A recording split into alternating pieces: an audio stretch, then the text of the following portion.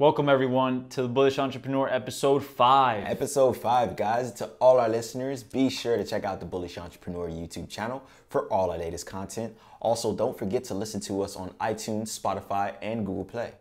Don't forget guys, thank you for tuning in again. Of course. Today we're going to be talking about the digital convenience, Yes. right? Which is the reason we started the Bullish Entrepreneur podcast to begin with. So today we're going to be talking about some of the best apps that we use and that can help you today. And some of these apps link directly to financial literacy. Mm-hmm. Obviously in our education system, we weren't taught financial literacy in school, Nah. right? We weren't taught how to save money, how to invest money, or what to do with it, really. It was just taught, hey, you work for money, you get paid, and you go out and spend it on the things that you earned it for. Exactly. Right? So a lot of things that people have to understand is there's sacrifices that you need to do with money in order for it to work for you, right? You need to invest it. When you invest, you're potentially losing this money you've invested for it to potentially make you a return. Exactly. Everything is possibility. There's nothing that's guaranteed. Yeah. So we do want to remind you that anything that has to do with investing in the market can be wins or losses. Do this at your own risk, of course, but these are tips that can help you ultimately. And if you educate yourself Yeah. on the right ways of doing it, these apps can help you get started.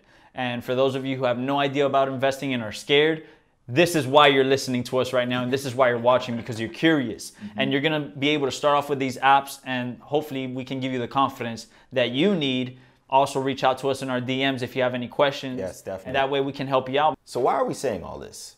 Well, the 2018 US Census has showed us that the average household income is $60,000 in a housing market that ranges from 200 to $500,000 starting off. So, what does that show us? Well, basically, that there's a need for entrepreneurship and a need for entrepreneurship drive. Why? Because your typical average job won't cut it alone. The fact that your average household income is $60,000 shows you that in order for you to really want to go out and buy your first home instead of renting in an apartment or anything like that, accumulating an asset that can benefit you in the long run, mm-hmm. you have to go out and do something extra. Find that side hustle that is needed to basically benefit you in the long run for that dream home that you want to have for you and your family, which is kind of sad if you think about it because it's like, Back then, it wasn't like that. yeah, right? it wasn't always like They, this. they were used to working. Our, our parents, you know, were each worked one job, and that was enough to take care of four or five kids, Mm-hmm. feed everybody, take you on trips to Disneyland, Disney World, and you know, from there, life was happy, Yeah. and the money, the dollar was able to be spread amongst more things. Mm-hmm. Yeah. And nowadays, we're seeing that there's a shortage of that, as well as the multiple streams of income that's needed. Right. Yeah. The more streams of income that you can create for yourself, the safer you're going to be in the long run. Exactly. You don't have to worry about a job firing you if you have something that's able to bring in a stable amount of income for you, right? Like there's a house that you can buy that costs you four hundred thousand dollars, right? But there is also a duplex or pretty much a fourplex mm-hmm. that you can buy for maybe five six hundred thousand dollars. Mm-hmm. You put down almost about double the down payment Yeah. but you're getting direct income from this Yeah. and that finance that you that you just put in now that debt that you got into is making you money back directly in mm-hmm. opposed to you paying for it So, according to the 2018 US Census, 325 million people live in the US. And then, of that number, 34.1% of people live at home. Now, if you consider that number and compare it to our hometown in Miami, 45% still live at home here in Miami. And that's nearly half our city's population, which makes us the highest uh, rated city for people who still live at home, which is kind of crazy. That is about it. It's it's it's ridiculous. i think it, it shows people how much they need to listen to this podcast Yeah. and also other podcasts out there and just resources there you know that offer business perspectives Mm-hmm. making a side business a side hustle and you know we say a side business side hustle because a lot of people are scared of taking on the full responsibility of a business Mm-hmm. you know they still want to maintain their job so they could pay the bills off and things like that but they want to build something on the side that can make them extra income and we see why Mm-hmm. if almost 50% of our city's population still live at home there's a dire need for income for, Yeah. for finances and i think financial literacy plays a big part of that Yeah. because the, it's not about the amount of money that you have but the amount of money you're able to keep It's just, you know, not having your eggs in one basket. Being able to plant little seeds here and there. I was reading uh, Rich Dad Poor Dad and Robert Kiyosaki. Oh, yeah. about, you know, Great book, plan- man. The, the pl- definitely great read. You should uh, all of you guys listening and, uh, and watching this right now definitely pick up that book. It it really opens your mind to the idea of fin- financial literacy that we're talking about right now. But basically, what I was trying to get at is having um, little seeds that you plant from time mm-hmm. to time based on the financial literacy and knowledge that you have of money Yes. making. And once you have that, you're able to see what is a good deal, what's a good investment, which is what is not. It helps you better manage your money and then mm-hmm. also allow you to understand what's the difference between an asset and a liability. Huge piece. That's it. I a a lot of people think that their home is an asset. Mm-hmm. And for those of you who are sitting here saying that first one, a lot of people are like, "What's an asset?" and then people who know obviously what an asset is is simply something that is valued in money, mm-hmm. but it's not taking away from your daily check. Exactly. So your home is not an asset; it's a liability because it only takes from your check unless that home is paid off, mm-hmm. right? It's only taking from you a mortgage that you're paying every month. It's Yeah. taking from you. It's not giving you anything back. An asset would be if you bought an apartment and rented it out. Yeah. Now you're let's say your mortgage is seven hundred dollars and you charge fourteen hundred dollar rent. You're mm-hmm. now making seven hundred dollars a month. So that's what an asset would be compared to a liability. You know, something that we saw is that eighty eight percent of people have graduated high school. Yeah. So out of the three hundred and twenty five million people in the U.S. living here in the U.S., eighty eight percent have graduated high school. So we have that other 12% that hasn't. Yeah. Small percentage. But of those 88%, only 32% have gone on to college and graduated college or higher. Yeah. So they have a bachelor's degree or higher, 32%. So you subtract that and you see that there's about 56% more or less of people who have graduated high school but are in the limbo, mm-hmm. haven't gone on to college and have either started working for somebody or started their own business. Mm-hmm. Either way, there's someone who doesn't have a backup plan with a degree Exactly. and need a way to make money. And that's who we're trying to reach out to today. 56%. You're talking about 170 million people who potentially have not graduated college Yeah. and need to find other ways of making income. And honestly, using some of these apps, they could help you. They could not. The only way they don't help you is if you don't execute on them every day, if you don't hold yourself accountable, if you don't follow the disciplines that we talk about in our previous episodes, right? Mm-hmm. It's all about being disciplined, staying humble, and continuing on a path of always trying to make money. Not just, oh, you made a little money, you're gonna withdraw and go party. Yeah. But reinvest that money that you made now and have it continue making you some more money. With that being said, we'll go directly into the podcast. I hope you guys enjoy it. Stay tuned. Hey everyone. So we're going to be diving directly into the apps that we're going to be talking about today that are going to be able to help you save money and also invest for those of you that are very new to the game and don't really know what to do with your money Yeah. that you get from that check every month, mm-hmm. right? Everyone says, "Hey, I live paycheck to paycheck." But if you really were to break it down, there's very few amount of people who are actually living paycheck to paycheck. Yeah. You can use that money or resources that the government offers to be able to reinvest your money into other things or to save that money by sacrificing a current lifestyle that you're living. Yeah. Right? Not going out to parties as much, not going on as many vacations. Yep, yep. These are all sacrifices we have to make in order to save this money. So the great thing about the Albert app is it has many benefits to helping you save money and also invest your money. Okay. So aside from it being linked to your bank account where it's breaking down all of your habits and behaviors as to how you spend your money, mm-hmm. right? You're also going to be able to invest your money if you want with their geniuses. So their genius portion of the app you have to subscribe for, and I believe it's like five to seven dollars a month. Okay. But you get a specialized financial expert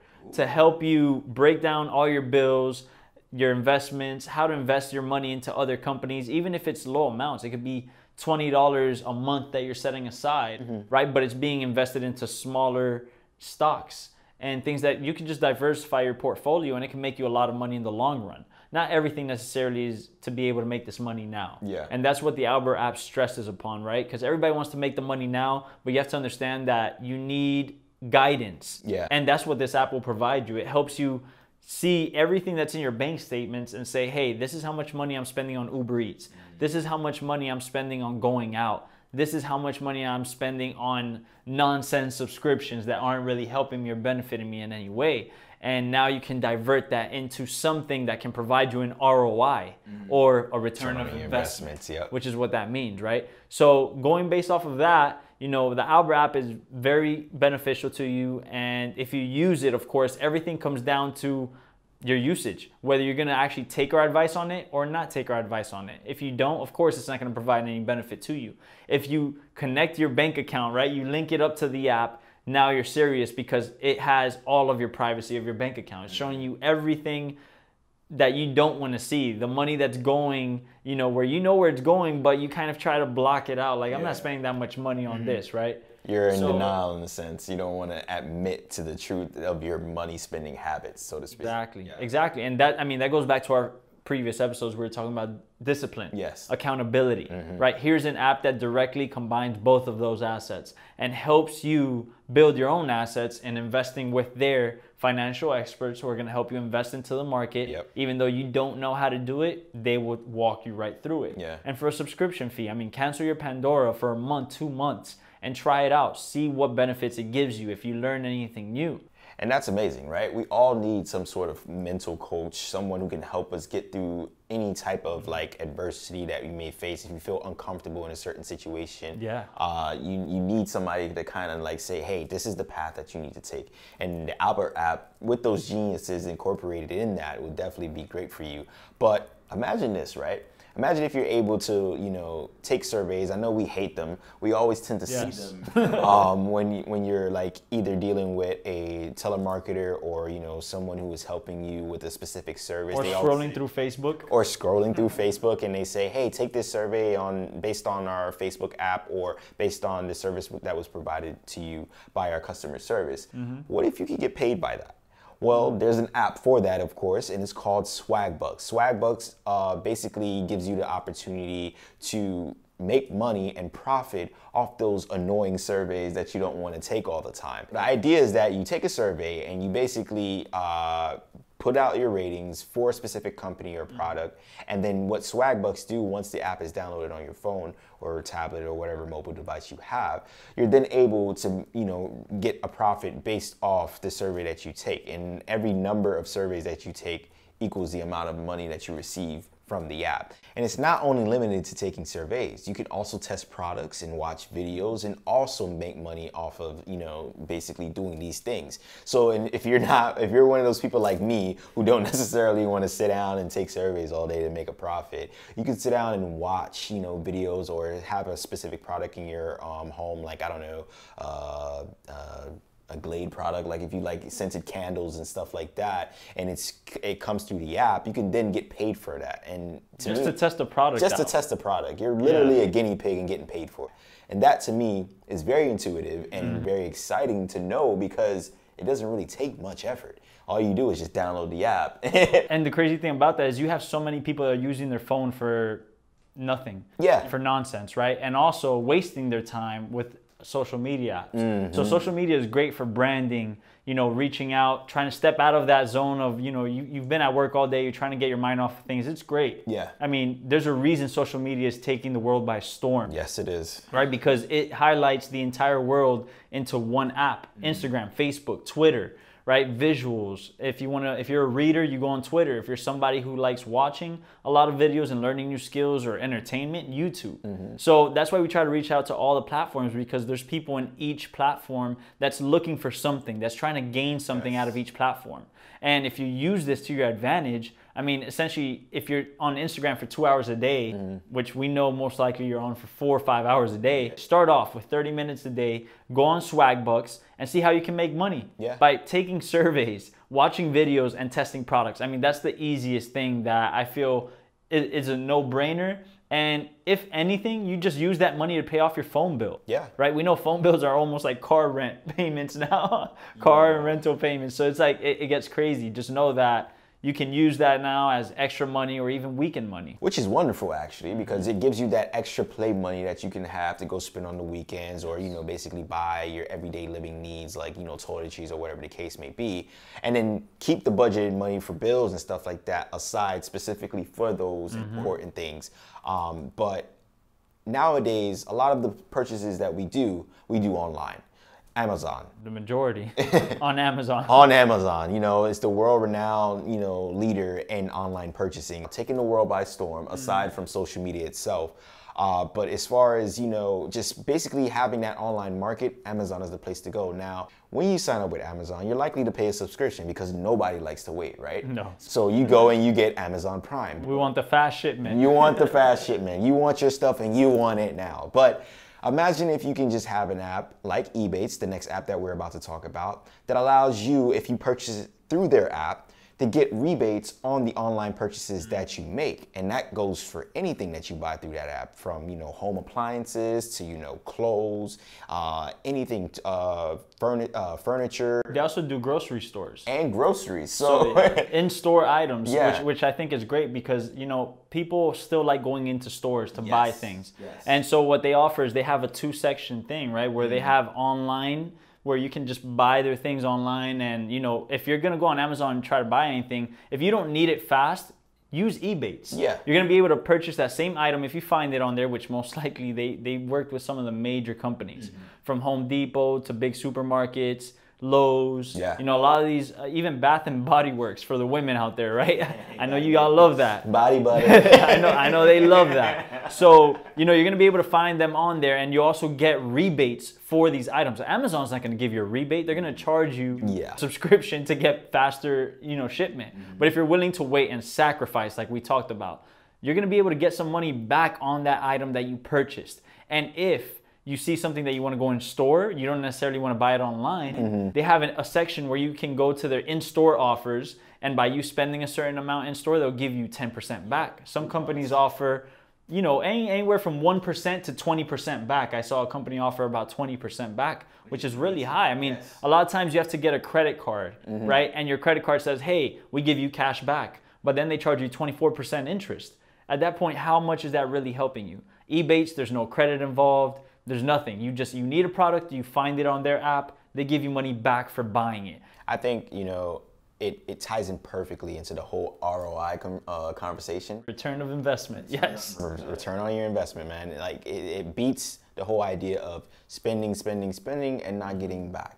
Exactly. So aside from the product that you're going to receive that you spent money on, you're also getting money, a, at least a portion of something that you spent towards, you know, the the the product or whatever whatever item that is that you wanted. So I think it's great, man. These apps are very creative, very very intuitive. They allow you to set yourself up in a way in which your mindset now is mm-hmm. shifted instead of just you know spending spending spending you're now thinking with a purpose and you're spending smarter instead of spending recklessly and i think that's the key uh, when it comes to these apps that we're presenting to you and just overall the key to having proper financial literacy that we're trying to really drive home to you guys Yes. And and financial literacy is the key. That's that's what we're talking about today, right? Financial literacy. And that's going to take us to our next app and final one. Yes. Which I believe is one of the most powerful apps out there. I know you guys have heard of apps like Robinhood. I know you've heard of this app which we're talking about which is Acorns, right? Acorns app is something that really not many people know about. More people I think know about Robinhood than they do about Acorns. Yeah. Because Robinhood is more in terms of investing and you make money on it. So a lot of people are enticed by the get rich quick scheme making money. Now, Robinhood is a great app for investing, but nothing is going to get you rich quick. And that's something that we have to clear the air out now and let people know. Right? So Acorns I believe offers the best balance between any other app, right? Acorns. This is the reason why. When I started also with I told you the Albert app, I tried Acorns for the first time. I mm-hmm. noticed something. I noticed that every transaction that I would make had some sort of change in it. yeah So if you think about it, you know, when back in the days when we had cash, we would spend five dollars on something that cost maybe four dollars and thirty cents. Mm-hmm. If you do the math on that, that's seventy cents of a difference. Yeah. So what would happen naturally? I would give the guy five dollars. He would give me back 70 cents because I purchased $4.30. So that 70 cents that I have now, I would probably drop in a piggy bank. Mm-hmm. I'd drop it in my cup holder. Regardless of the situation, most likely you get rid of those 70 cents Yeah. one way or another and you forget about it. This is what Acorns would do for you on that transaction. So let's say that 70 cents that I got, Acorns will tell me, hey, set up a limit for when you want us to invest this money. So I would say, hey, you know what? This part of Acorns is called, by the way, Roundup. Mm-hmm. So they round it up to the nearest dollar. So from $4.30, we round it up to $5. Yep. That's 70 cents now. So they charge my bank account $5. They take that 70 cents and they put it to the side. Let's say I make another five transactions, and of that, it reaches my threshold of $5. Acorns will now take $5 from my bank account and they will dump it into five different stocks that they have and diversify it depending on how you want it. You can choose which companies you want to invest in. And we're talking about app, like companies like Disney. Yeah. You're talking about Airbnb, Uber, Lyft. See, all these companies that you're going to be able to invest in, even Apple. Yeah. That, you know, even if you own a little bit of stake in, in the in the stock market, you're still owning stock in something that's going to pay you dividends. And for those confused about what a dividends is, a dividends is simply something that a company pays their shareholders. So if you're invested into a, a company that pays dividends, and obviously these companies will tell you through the Acorns app Mm-hmm. and through anywhere if they actually pay a dividends quarterly. Yeah. Quarterly meaning every three months or so, Mm-hmm. right? At the end of the quarter, they'll go ahead and pay their stockholders some money. So if you invested in that company and that company pays dividends, you will now get a share every quarter. Yeah. So aside from the money that you've already put in there that's already growing and making you more money, like the stock market, right? You buy in and as that stock goes up, you make more money. You're also going to be paid dividends by any of these companies, Mm-hmm. which is them just paying you for being a shareholder. so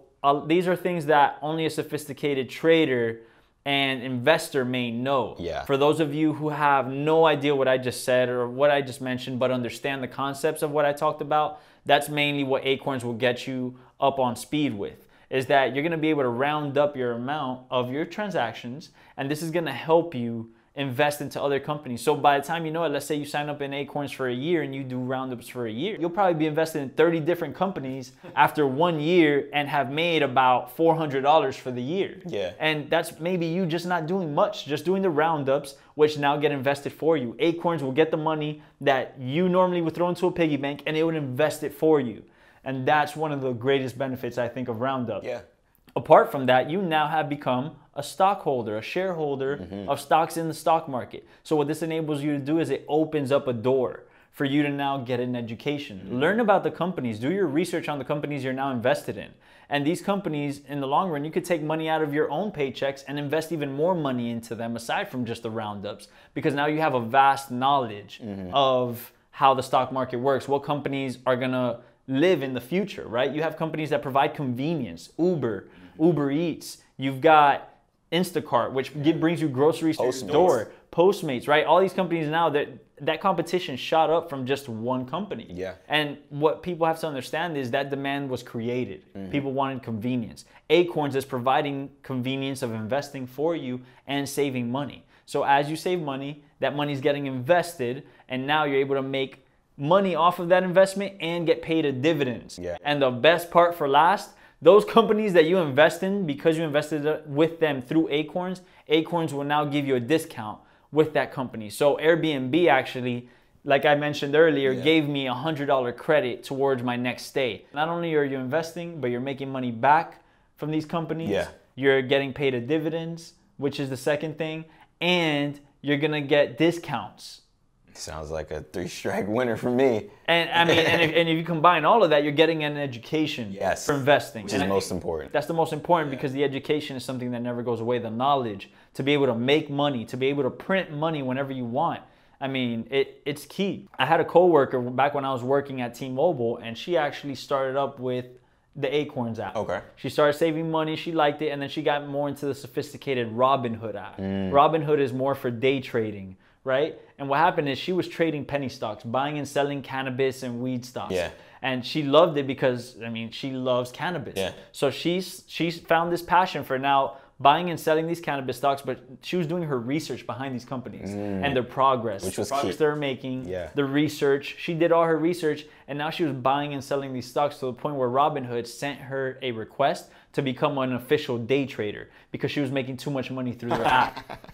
She was making like a hundred to two hundred dollars a day almost. Oh, wow. Just from the app. Yeah. Just by using Robinhood, buying and selling penny stocks because she became so good, just learning through acorns and saving her money. And then she realized, hey, I can trade the movement mm-hmm. itself aside from being long term invested. And that's when she started trading on there. And I believe that, you know what, she's not trading the way we are. You know, she's not a full time trader. She's not trading Forex. She's not trading stock. Mm-hmm. She- She's just doing the penny stocks. she's not even on the main stock market. She's trading penny stocks on Robinhood and just making an extra money that's going to help her on the weekends for you know whatever the case it is, and even reinvest that money once you make it. Because just spending is not going to do anything, but having the discipline to reinvest your gains to make more money, I think that's key. Yeah, of course, man. You always want to look forward to the next money making opportunity Mm-hmm. versus just taking it and saying this small win can just be uh, used for something very uh, trivial Yes. and for the moment. Like, you don't want that. It's, it's a long game. And that's what we're trying to also drive home to you guys as well is that, you know, it's good to be present in the moment and understand what you're doing. But in terms of financial literacy and money making habits, good money making habits and spending habits, you always want to think about the long run because you want to essentially build that well that you can always refer to, have that pipeline that you can always refer to because you want to have that well, right? That you don't want to run dry. You want to you want to keep that pipeline mentality in your head all the time Yes. so that you can always have that generational wealth that we spoke about in episode Mm-hmm. three, you know, to prolong for the generations to come in your family, your lineage, and also just helping the economy better itself because Yeah. this is what it's all about. It starts with you finding a way to make better spending habits, have better money habits, um, and understanding the value, the true value of the dollar that you make. So it all comes through sacrifices. yeah, you have to have the discipline. You have to understand what's important. You have to do what you need to do versus what you want to do. It's so many things you have to, that come into play that you have to consider. And having these apps, something that we're so accustomed to now, you know, having it, having the, the, the discipline and, and, and, and the ideas presented to you through technology the way they are through these apps now makes it more adaptable for the person, easier to digest. No excuses. No excuses. Like the friend that you mentioned with the Acorns into Robinhood app, she probably started off with Acorns just to, just to say, hey, I want to find a way to, you know, better, you know, save money for my. She was tired of living paycheck to paycheck. She told me. She's like, I just want, I just need a break out of like, oh, I need these extra fifty dollars till my next check. And and That's that started. and that essentially opened the door, like you said, into a whole new realm of possibilities for her. Yes. And you know, you go in with an open mindset, and you never know what can happen. And mm-hmm. that's exactly what happened for her. And this is exactly what we're trying to say that can possibly happen for you. And you know, you just got to utilize these apps, man. And this is why we are presenting this content to you through the Bullish mm-hmm. Entrepreneur. This is how you stay bullish in not only just your thinking, but also your lifestyle. And we mm. really, really, really want you all to engage with us. Help us understand exactly what you need if this content helps you all. Um, Yes. Because this this is very very critical stuff and if you don't pay attention like i said like you said it'll pass you by and This was definitely a note-taking session. And Yeah. I would say, you know, reach out to us in our DMs and let us know what you think. Let us know if, you know, the time that we're putting into this, it takes a lot for us to meet up, do these podcasts. Yeah. But it's something that we really want to provide as much value to you all. And all we ask is that you let us know how we're doing. Let us know what you think, whether you like the content, you know, what you think it helped you out on, what you think we could improve on at the end of the day, we're all here to help one another, right? Mm-hmm. And if we help one another get better, then we're going to be able to relay information better to you. And if you have any questions about any of these apps and how to use them better, of course, reach out to us. We'll be able to respond to you. We respond to everybody who writes to us, and we try to provide as much value as possible. so help us to be able to make better content for you all and always remember to grab life by the horns and live life bullish take care guys